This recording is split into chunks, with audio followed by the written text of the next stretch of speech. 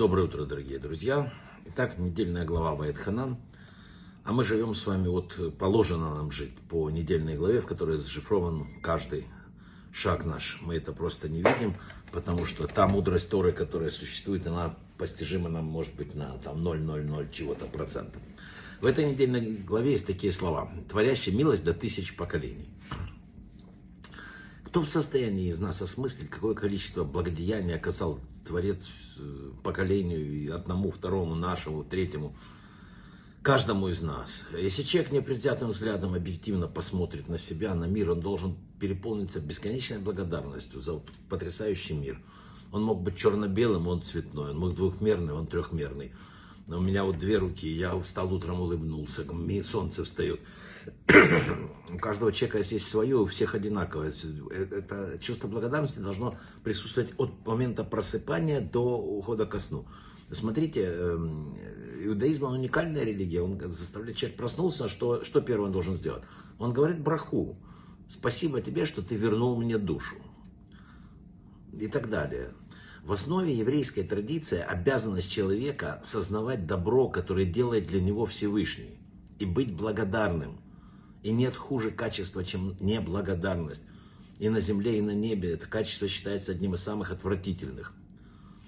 Как сказано в Торе, потому что пришельцами были вы у египтян, поэтому и начинается рассказ. Машера Бейну, давайте даже не так я вам скажу, Благодарность одно из самых важных качеств человека. В Торе, в Торе мы видим благ, важность благодарности по отношению не только к людям, но и к неодушевленным даже предметам. Вот то, что я начал говорить. Маше не навел казнь на Нил. Почему? Потому что Нил в свое время спас Маше. Как Рашид пишет в комментариях. У него был долг благодарности по отношению к реке. Вы понимаете, что нам пишет Тора? К реке. Потом такой же был к песку. К тому, кто тебе сделал. На чувстве благодарности построена Тора. На чувстве благодарности построен мир. И нам это сказано. Мало того, специально, понимая, с кем имеет дело, Бог сказал нам, и к неодушевленным даже предметам у вас должна быть благодарность. Например, такой э, сказать, заповедь такая, как э, к, к родителям, благодарность к родителям.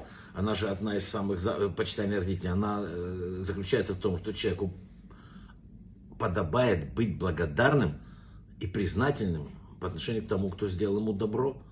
И не быть неблагодарным, потому что самое отвратительное написано качество в глазах Господа и людей.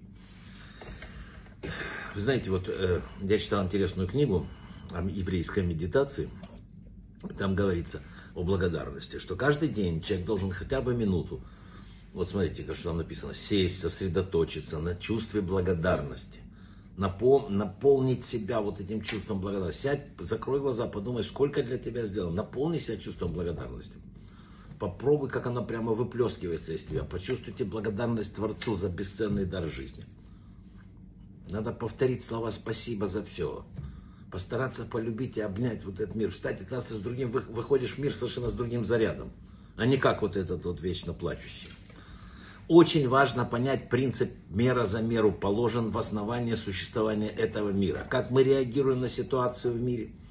И как мир, так мир будет на нас реагировать. Если мы прощаем, нас прощает.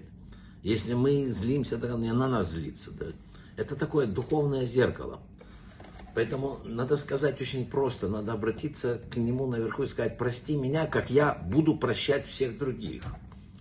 Ведь ты же забываешь, что я натворил, забываешь, так сказать, тогда и я это все забуду. Я буду идти совсем другим путем. А принцип, ты забудь все, что я натворил, а я буду помнить все, что натворили против меня, он вообще не работает в этом мире. Все мужчины, женщины, дети, старики, не знаю, нуждаются в любви, понимании, уважении к ним. Надо, они нуждаются все люди в чуткости, внимании.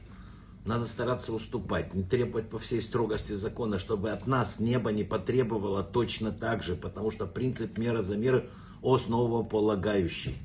Улыбнитесь миру, и он улыбнется вам.